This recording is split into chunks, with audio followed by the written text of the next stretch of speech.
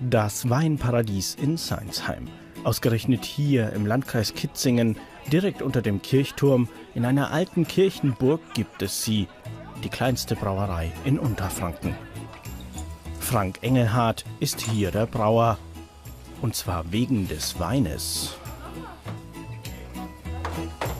Ja, als ich hierher gezogen bin, habe ich furchtbar viel Wein getrunken als Biertrinker.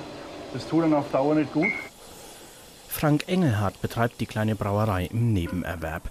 240 Liter Bier werden hier freitags immer gebraut, nicht mehr. Helles oder dunkles, ab und zu mal ein Weihnachts- oder ein Bockbier.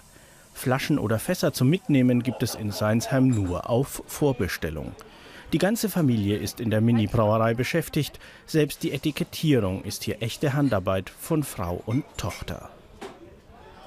Gedacht war es als Hobby, so nach dem Motto meditatives Bier brauen. Ich stelle mich hier rein und koche so ein bisschen vor mich hin.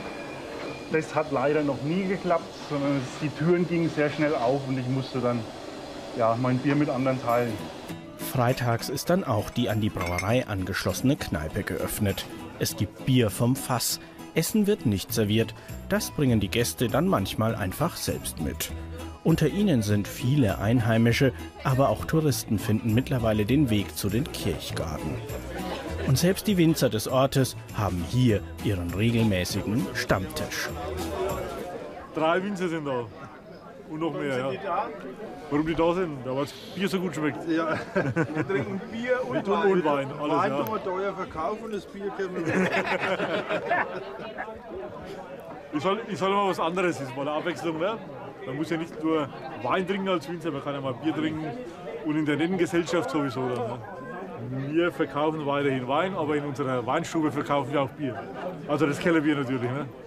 Naja, Frankenwein ist ja grundsätzlich immer ziemlich trocken und danach hat man Durst und dann ist Bier ganz gut. Man darf doch kein Bier auf Wein trinken. Doch, also das ist ein Märchen.